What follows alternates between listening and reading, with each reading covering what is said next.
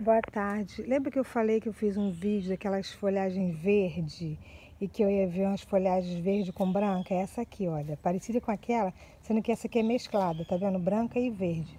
Olha que linda. Também dá para ficar na água. Olha só que graça. Já tá até aqui, ó. Deixa eu mostrar aqui. Ó, já tá até uma folhinha já nascendo. Olha que graça. Que linda que fica uma garrafinha de pérola, que é o amorzinho que fica. Também plantinha de água também, tá vendo? Ficou linda, né?